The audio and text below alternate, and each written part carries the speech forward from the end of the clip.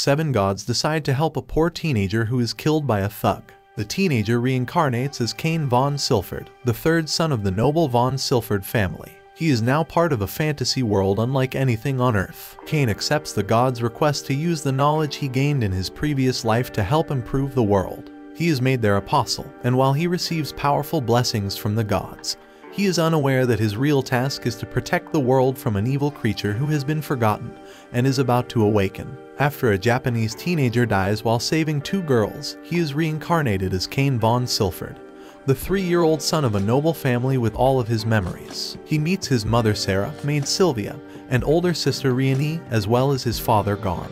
In addition, he meets Maria, Garm's first wife, and his much older half-brothers Jin and Alec. As a result of his sudden rise in intelligence, he is permitted to study and begins using magic in secret. He receives numerous lessons from Riani. Two years later, Cain is ready to be baptized and learns that the Marineford faith has seven gods. During his baptism, each of the seven gods tells him that because he died doing a good deed, he will get blessings from them all. With their help, Cain realizes that he is now the strongest, smartest, and most skilled person alive. While Cain's family is overjoyed, they are concerned that governments may view him as a threat, so he conceals his powers. Cain makes the decision to become an adventurer at his baptism party so that he can help people all over the world. The gods reveal in secret that in order to avert a great evil, they need Cain to become the strongest living thing by his 16th birthday. Swordswoman Millie and elven magician Nina, hired by Garm as tutors, are D-rank adventurers Cain and Cain. They have trouble teaching him because Cain already has level 10 blessings from the gods of war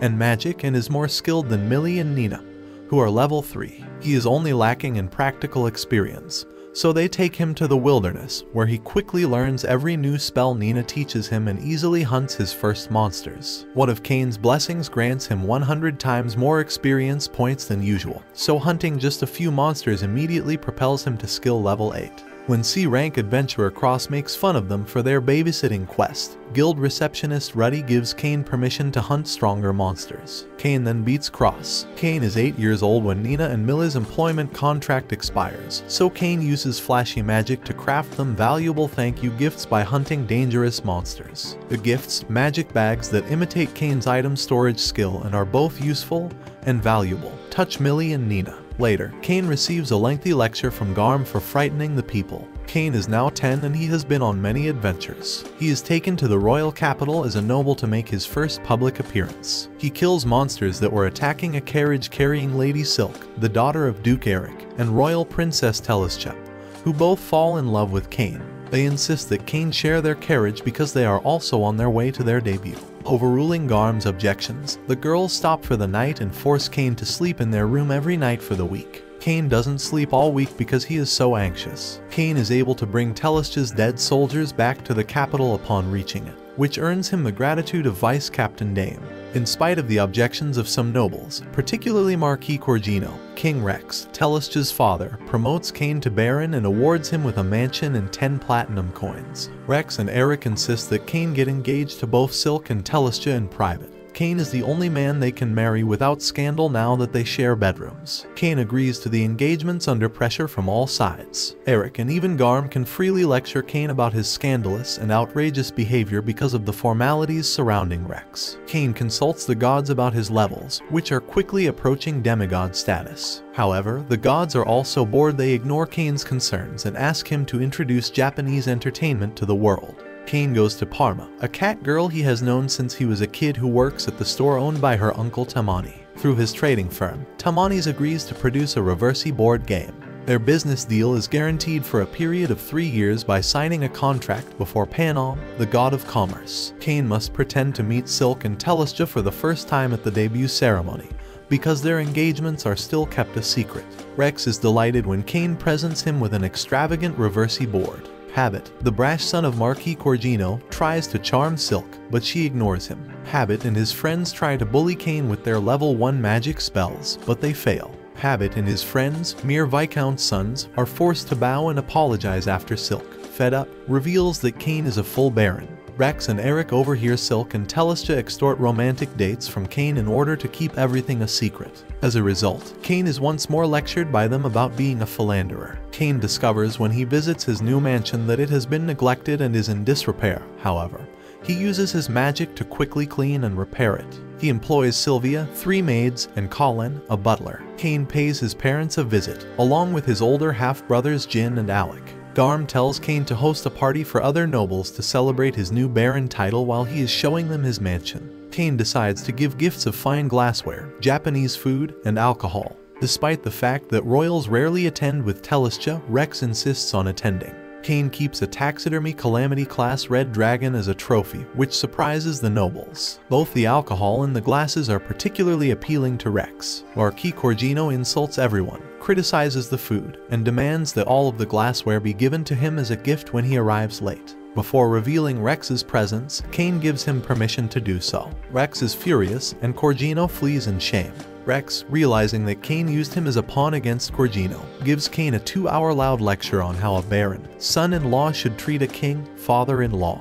Cain does not escape either. Cain is invited to a knight's training session by Dame. Tiana, a knight captain, an elvish viscountess, asks him to fight her, but when Cain wins, she proposes marriage and drags a confused Cain to talk about it with Rex. Tiana is also the elvish princess, so Rex is furious. As long as Duke Layson, Tiana's father, agrees, Rex must agree. Rex is concerned about Cain's growing power, so Magnus suggests they test him.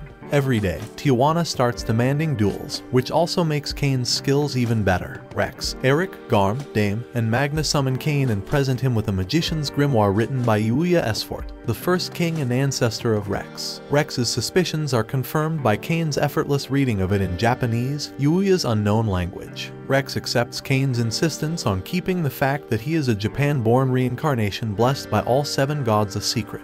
However, Cain is forced to admit that he is. Layson grants Tiana permission to wed Cain. Rex is sure that Cain will be a good king of Esfort in the future. Cain is spared a lecture by Rex. Instead, Telestia and Silk tell him to be reckless and seduce every woman he meets. Cain joins the Adventurers Guild when he is 12 years old. His G-rank license is issued by Secretary Resha. Resha is harmed by other adventurers, but a rank adventurer Claude scares them away. Claude tells Cain to go to a party, but his wife Lena drags him away. Cain takes a job killing Goblin, but Tiana finds him and wants to join him. Tiana kills the goblin and S while Cain fights green lizards nearby, stealing a quest from Millie and Nina unintentionally. Cedric, Vice Guild Master, says that Cain lied about killing the lizards himself. Guild Master Eden, Tiana's older brother, saves Cain. Cain is promoted directly to a rank by Eden, who is aware of his power and can give him the most dangerous missions. Now that he is aware that Cain is a baron, Cedric apologizes in a grovel.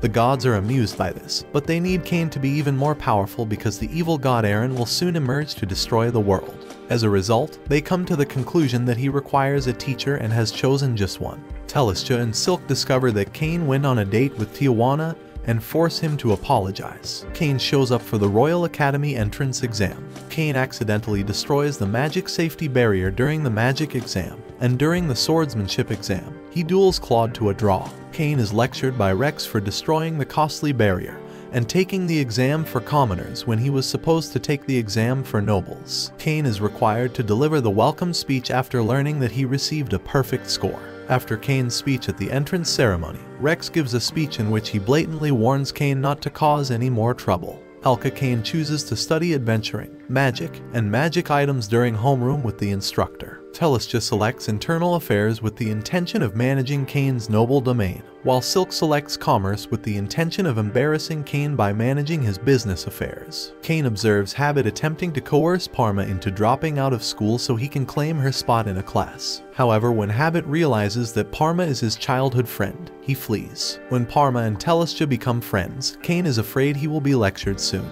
Cain is teleported away from the library by a man who knows that he is a reincarnation, and that his original name was Shina Kazuya thanks to a psychic message. Yuya Hirasawa, also known as King Yuya Esfort, and his identity is revealed. Yuya reveals that he is the new god of creation for his own world, Fabnail. Aaron may have connections to Cain's previous life, as Yuya has agreed to train him. He abandons Cain thousands of miles away in the wilderness, but he warns that monsters here are much tougher. In addition, time moves in different ways, so while Esfort will pass by quickly, Cain will have years of time. Cain saves a puppy from the Fenrir and gives it the name Haku. They have to survive for four years before they can return to Yuuya's house. Yuuya reveals that Eren was the god of entertainment, but that he had become corrupted and used death games to amuse himself by pitting kingdoms against one another. Yuuya also reveals that two other people, Seiya and Megumi, Cain's parents who were killed in a car accident, were with him when he reincarnated from Japan. They were killed fighting Aaron, but they became Yuuya's dear friends. Cain is sent to the elf Durain to learn how to fight. Cain returns to Esfort with Haku and Durain's pet dragon Jin after defeating Durain after another year. For Rex, Yuuya gives him a sword.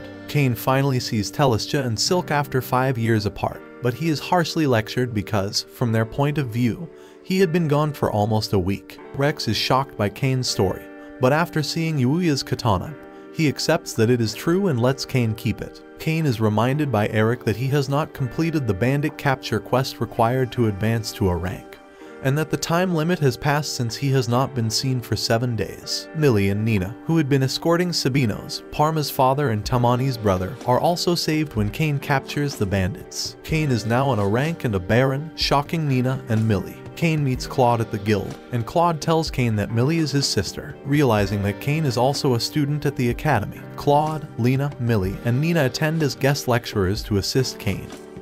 But they discover that Cain doesn't fit in at all with the other students. They fail spectacularly in their attempt to help Cain stand out and gain popularity. Baffled at Claude's ineptitude, Cain frenzies through the beast-filled woods, unexpectedly terrifying the realm into thinking a devil ruler has showed up and procuring his most serious talk yet from both Rex and Garm.